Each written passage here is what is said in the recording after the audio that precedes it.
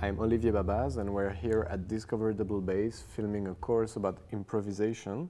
and especially in a duet format. I'm joined here by Sam Dunn on guitar and one of the topic we get questions about is uh, how much as a bass player you stretch out of your role basic role of the bass player be being underlying the fundamental harmony and rhythm and stretching out being playing more melodically and in a more interactive way. So we're going to play a little bit of I Hear Rhapsody and at first I'm going to play extremely solidly playing fundamentals and very laying basic rhythm and comfortable ground for the guitar and I'll take more and more freedom and stretch more and more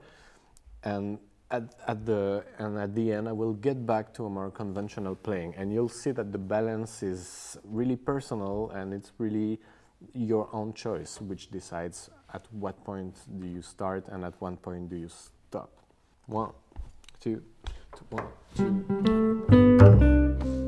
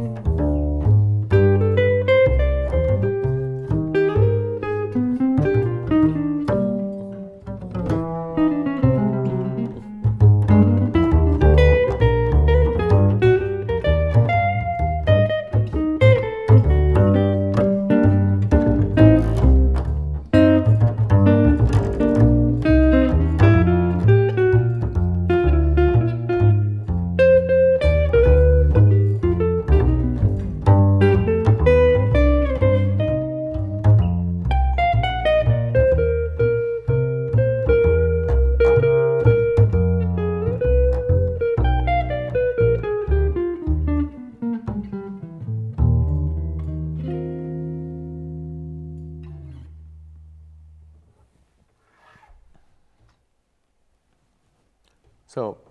there's clearly a big difference between playing a very basic and comfortable bass line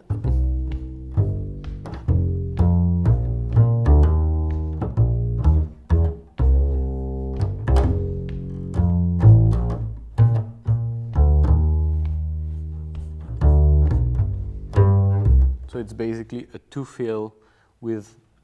with some little things added to it. And it's really different if you start to putting and adding a lot more stuff, especially as there's a solist on top of it. For example, one, two, three,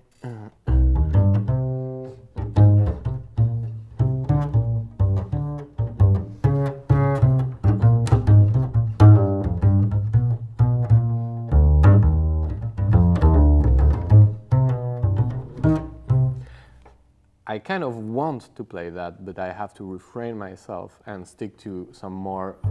conventional playing, but I can add my little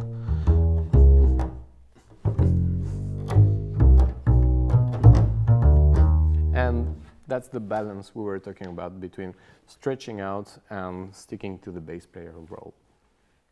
I hope you enjoyed this video and if you want to know more about uh, improvisation and this course, go to discoverdouble bass.com.